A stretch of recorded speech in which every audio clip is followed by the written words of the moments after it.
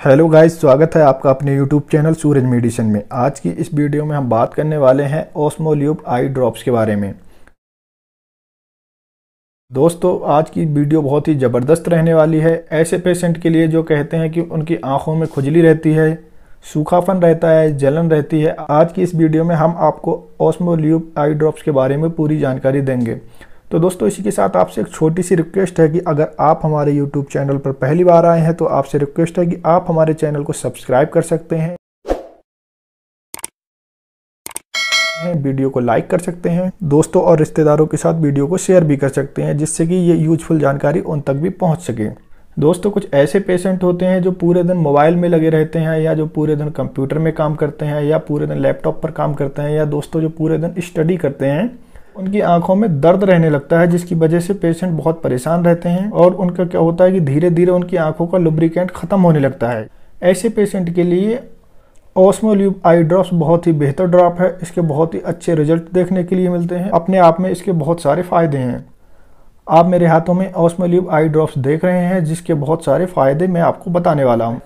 जिसमें carboxy methyl cellulose को मिलाया गया है। अगर हम इसके कंपोजिशन की बात करें तो इसमें sodium carboxy methyl cellulose Indian pharmacopoeia guideline के अनुसार 0.5 परसेंट वेट बाई वॉल्यूम की मात्रा में मिलाया गया है।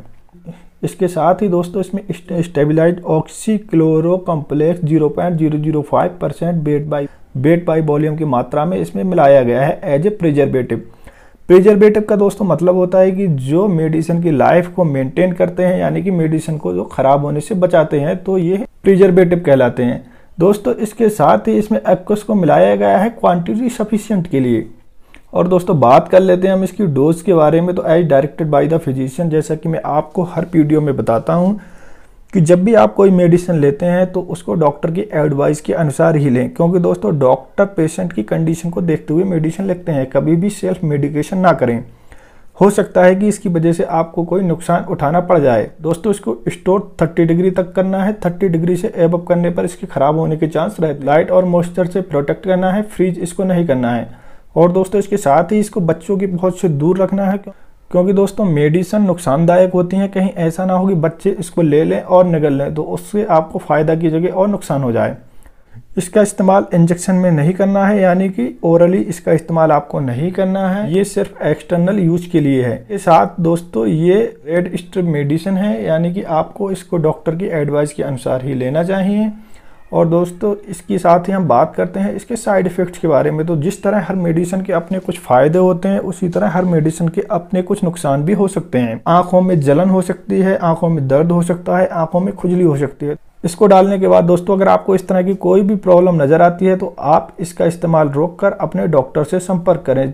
और फर्दर ट्रीटमेंट जैसा कि डॉक्टर आपको सजेस्ट करते हैं, उस तरह से करें। तो बात अगर हम इसके एमआरपी की करें तो एम आर पी एक इसका एमआरपी है इंक्लूसिंग ऑफ़ ऑल टैक्सेस और यहाँ पर इसका बैच नंबर लिखा हुआ है, यहाँ पर इसकी मैन्युफैक्चर डेट है जनवरी 2021 और यहाँ इसकी एक्सपायरी डेट दिसंबर 2022 यानी कि दिसंबर 2022 तक आप इसका इस्तेमाल कर सकते हैं।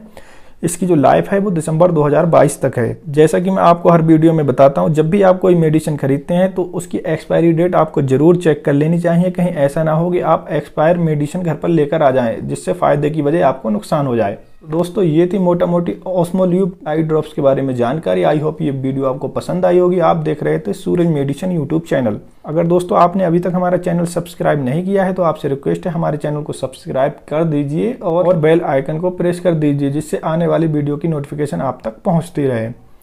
तो दोस्तों मिलते हैं आपसे नेक्स्ट वीडियो में नए टॉपिक के साथ। जय हिंद।